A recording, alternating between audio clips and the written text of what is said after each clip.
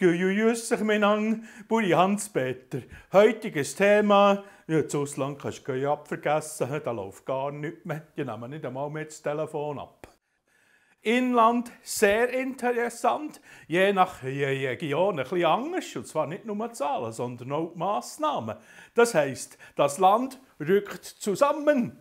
Weil im Wäldchen haben sie ja ihre Beizen länger offen als bei uns. Dann gehen natürlich Berner und Solothurner ins Wäldchen saufen und dann gehen Jojojock, Monsieur, ich kann schletzen.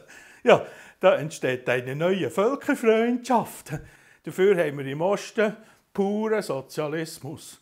Alles zu, wegen alles Kajajank. Für die St. Gauer lohnt es sich natürlich nicht wegen einem Pferdeantergott und einem halben Kuttlerrücken ins neue Burgische rauszufräsen gibt's nicht. Die andere erfreuliche Nachricht ist die Weitsicht unserer Politiker. Thomas Eschi, Jojo Schecköppel und Erich Hestje sagen sich, Gouverner, c'est payer avoir. Oder wenn die Alten alle wegsterben, heisst das für Pensionskassen Pinky Pinky. Umwandlungssatz, kein Problem. Das freut natürlich der Finanzspezialist Thomas Eschi. Und am Roger Köppel, seine Wähler, die wollen sich ja sowieso nicht impfen lassen. brauchen wir eigentlich die AHV auch gar nicht mehr, können wir abschaffen.